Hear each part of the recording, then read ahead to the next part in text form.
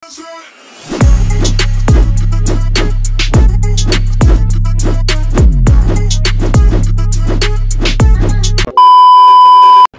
hello guys, so today guys, it's a new vlog, it's a new day It's a new day. This vlog, sneakers pa rin pero Pero guys, galing na po ako sa Nike kanina so walang nilabas So, napag-isipan kong bibili ako ng cellphone. Kasi nga yung cellphone ko sira na guys. So, almost 4 years na din tong cellphone ko. Hanggang ngayon ginagamit ko pa. Pero, kailangan niya na talagang palitan guys. Kasi nga, sira na siya. Gumagana pa siya pero need na talaga. Kasi naawa na ako sa cellphone ko. So, ipapakita ko mamaya yung cellphone ko guys. So, iPhone din siya. So, yung bibilin ko is iPhone din. Guys, so nandito na ako sa bus stop. Maghihintay lang ako ng bus. 10 minutes pa yung bus. So, pupunta pala ako FNAC term. So, yung FNAC guys, isa yung tindahan dito sa Paris Malaking tindahan yan dito sa Paris ng mga gadget, laptop, TV, mga appliances So, doon ako pupunta guys. Magkikita kami ng tropa ko doon kasi sasam- sasamahan niya ako.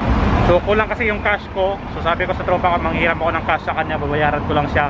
Pag maka-withdraw ako ulit. Kasi nga kapag mag-withdraw ka dito sa Paris guys sa France so may limit kasi. So 500 lang yung limit ko a day. So yung yung iPhone is 1,000 plus euro. So kailangan ko manghiram ng pera para makabili guys. Katas po to ng Kaloy sticker hassle guys. So alam niyo naman.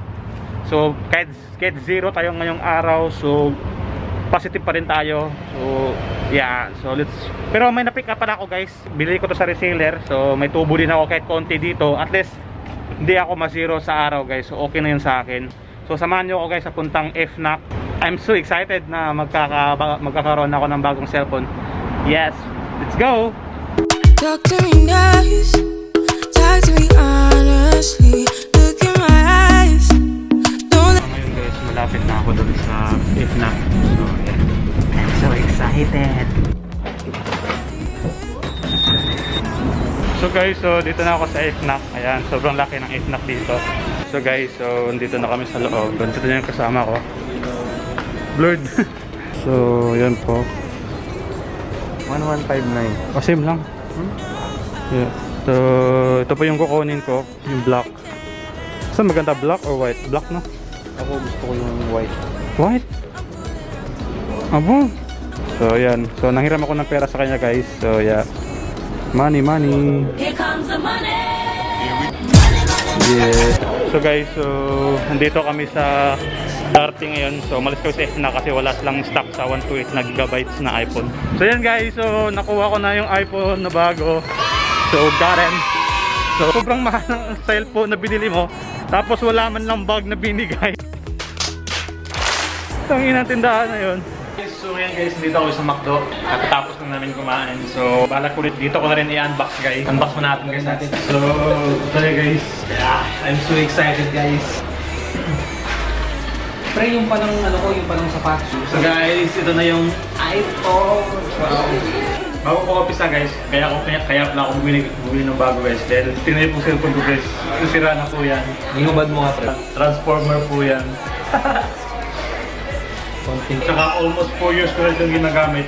Ano, remembrance ko pa to sa Denmark bilang offer ko. Kung interesado po kayo kung ano yung offer, kasi yan po yung dahilan kung bakit nandito ako sa Europe yung pagiging offer guys. Comment down below kayo kung gusto nyo pong malaman kung ano yung offer kung paano ko nakapunta ng Europe. Comment down. So yun guys, buksan natin. Ayan! Dito talaga sa McDo nag-unboxing. Wala na, bakit ba? Pili ba? Ah, ganda, tatlong mata. Kita yung tatlong mata. So, meron siya ano, uh, cord.